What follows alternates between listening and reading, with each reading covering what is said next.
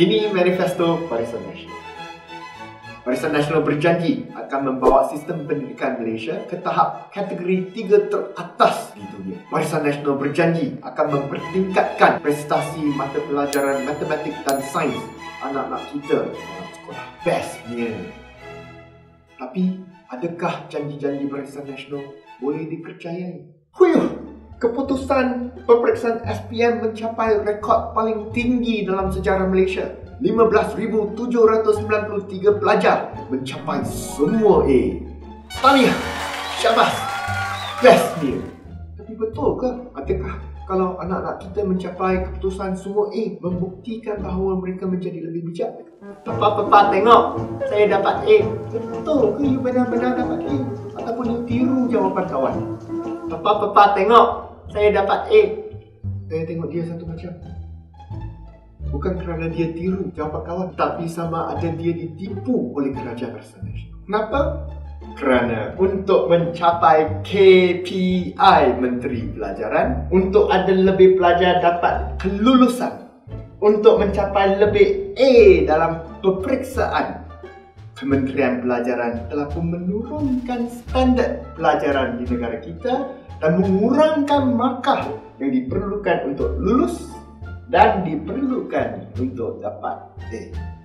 Ada cikgu yang beritahu saya dulu untuk lulus dalam matematik tambahan kena dapat 50 markah. Tapi sekarang untuk lulus dalam matematik tambahan di SPM 15 markah sudah cukup. Kajian trend matematik dan sains antarabangsa ataupun TIMS oleh Persatuan Penilaian Pencapaian Pendidikan Antarabangsa telah menjalankan perbandingan antara 64 buah negara pada tahun 1999, 2003, 2007 dan 2011. Dalam laporan TIMS yang terkini, Malaysia mencapai nombor satu seluruh dunia.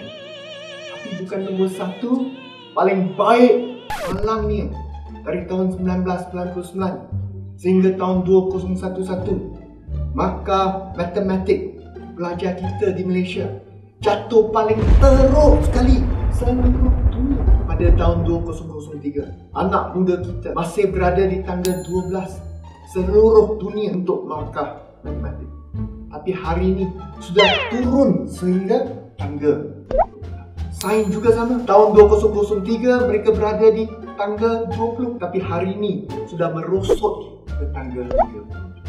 Eh, tangga 26, tangga 32, seluruh dunia bukan teruk sangat, masih boleh tahan lah. Tapi, adakah kita ingin terus memberikan sokongan kepada Barisan Nasional supaya tahap pencapaian belajar kita dalam matematik dan sains terus merosot sehingga mencapai tahap yang paling rendah sekali seluruh dunia? Apakah reaksi pemimpin Barisan Nasional terhadap kemerosotan sistem pendidikan yang kita ada di Malaysia sekarang ini? Hakikatnya, generasi muda di negara ini mendapat pendidikan yang lebih baik jika kita bandingkan dengan Amerika Syarikat, Britain dan Jerman.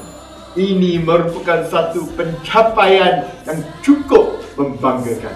Apa? Percayakah kalau benar-benar bahawa sistem pendidikan di Malaysia lebih baik daripada Amerika Syarikat, lebih baik daripada Britain, lebih baik daripada Jerman, Kenapa anak-anak menteri kita kesemuanya dihantar ke luar negeri untuk belajar? Mutu pendidikan kita merupakan bahan asas yang paling penting sekali supaya anak cucu kita dapat mempertingkatkan pencapaian mereka. Bila Barisan Nasional dan kroni mereka mencuri tanah rakyat, kita hanya kena kerja lebih kuat lagi untuk mendapatkan pendapatan tambahan. Tapi bila Barisan Nasional melemahkan sistem pendidikan kita, mereka merompak masa depan anak cucu kita. Apa yang dirompak tidak dapat dipulangkan. Untuk masa depan yang lebih cerah anak cucu kita, biar kita ubah sekarang bersihkan Malaysia.